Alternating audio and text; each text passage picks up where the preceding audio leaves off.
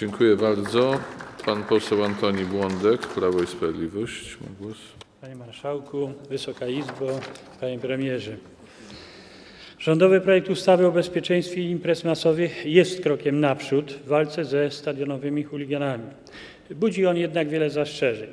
Brak w nim na przykład kompleksowego rozwiązania bezpieczeństwa y, stadionowego.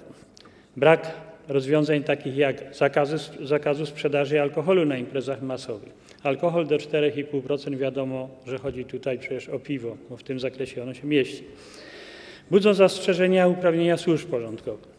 Projekt nie rozwiązuje również problemu młodocianych chuliganów stadionowych. Następną rzeczą, która powinna znaleźć się w tej ustawie, to za- zapis mówiący o tym, że kolejne popełnienie wykroczenia związanego z masową imprezą sportową lub meczem piłki nożnej może na przykład skutkować karą wstępu na imprezę masową przez wiele kolejnych lat.